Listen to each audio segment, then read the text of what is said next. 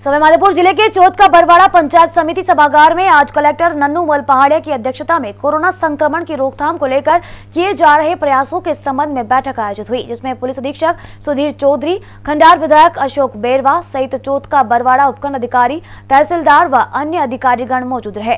बैठक के दौरान कलेक्टर ने उपखंड अधिकारियों से कोरोना संक्रमण की रोकथाम को लेकर किए जा रहे प्रयासों की जानकारी ली और प्रशासन द्वारा किए गए कार्यो की समीक्षा की। इस दौरान कलेक्टर ने कहा की प्रशासन एवं आमजन के सहयोग का ये नतीजा है।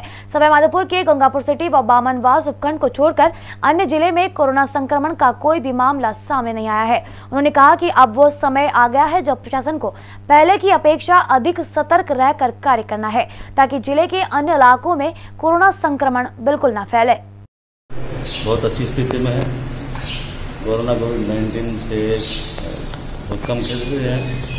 पुलिस और प्रशासन की और स्वास्थ्य कर्मियों की जागरूकता से हर स्थिति पर काबू और नियंत्रण है।